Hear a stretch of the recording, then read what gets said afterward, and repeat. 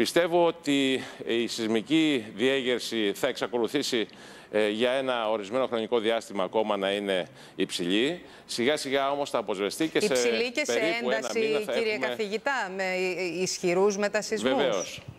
Μπορείτε να μας δώσετε κάποια κοιτάξτε, κλίμακα. μέχρι Δεν τώρα σας ζητώ έχει να γίνετε κάνει- μάντης, απλώς Ναι. να μας εξηγήσετε την εξέλιξη του φαινομένου.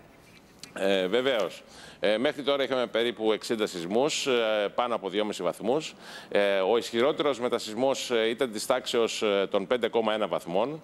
Για να είμαστε εντάξει με το φαινόμενο και σύμφωνα με τα διεθνή δεδομένα, επιστημονικά δεδομένα, θα πρέπει να εκδηλωθεί ένας σεισμός της τάξεως των 5,7-5,8 βαθμών.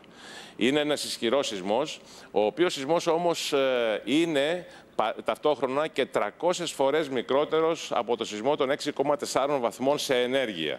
Που σημαίνει αυτό τι, ότι δεν θα επηρεαστούν οι υποδομές, δεν θα επηρεαστούν τα κτίρια, παρά μόνο θα ε, ενοχληθούν, αν θέλετε τη λέξη, ε, αν μου επιτρέπετε τη λέξη, ε, οι κάτοικοι του νησιού. Ναι. Ε, τον περιμένουμε αυτόν τον μετασυσμό και ε, αυτός ουσιαστικά ο σεισμός όταν εμφανιστεί ε, θα, έχουμε, θα είμαστε σίγουροι ότι μπαίνουμε ε, στην κατάσταση πλήρους ε, ε, εκτόνωσης περιοχής.